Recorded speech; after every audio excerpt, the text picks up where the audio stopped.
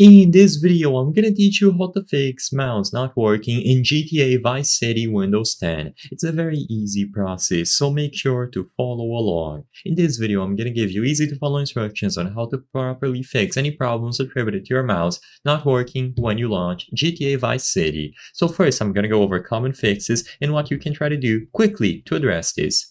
So first, if you haven't done so already, try restarting your PC. If this has been going on for a while, then probably this isn't going to help. Maybe you have already restarted your computer multiple times between this, but if you haven't actually restarted your computer, this could help. Now, besides this, make sure that your mouse is securely plugged in and functional. You can also switch USB ports, as weird as this may seem. Now, with those common fixes and quick stuff out of the way, here's something that you can do related to the actual game. Find the folder where the game is and right click the executable file. Now go over to properties and then switch over to the compatibility tab. In here, you will have compatibility mode.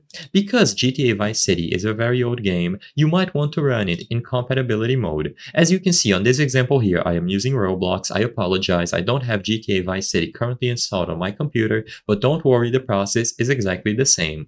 Once you right click GTA Vice City, you will have these options here, so Windows Vista, Service Pack 1, 2, 7, and 8, and then you will also have a bunch of other options, such as Windows XP, Windows 98, and so on.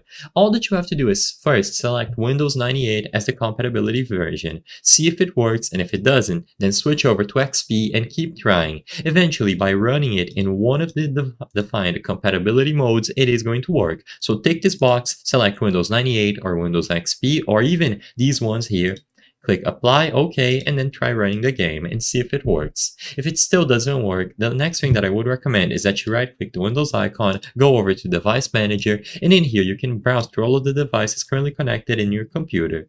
Go over to mice and other pointing devices and you will see every single mice that has ever been connected to your PC.